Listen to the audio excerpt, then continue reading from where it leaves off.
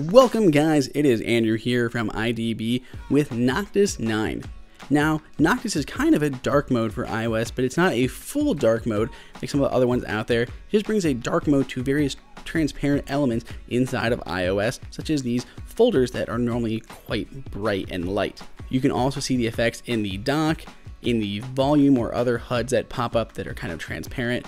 Again, those folder overlays that we looked at previously, and even on 3D touch menus. If you have a 3D touch device, any of those 3D touch menus will now have a nice dark overlay to them. Now, there are a bunch of settings that you can configure here, so it's not just kind of a simple dark mode that a lot of people like, but there's a lot of things that you can kind of enable and change.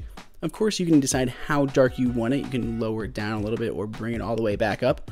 You can enable the dock. So some people don't like the dock, but you can remove that. Same thing with the folder effect. You can remove that as well.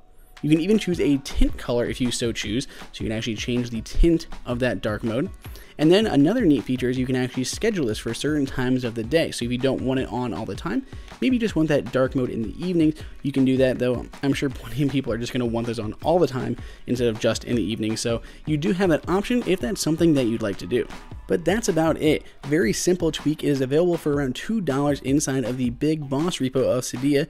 Let us know down in the comments below what you think. Do you like this kind of simplified dark mode or do you want a full-blown system dark mode that we've seen in the past and are still waiting for from Apple? If you like this video and want to see more cool tweaks, make sure you give this video a thumbs up to like it, and then go ahead and click on that big red subscribe button.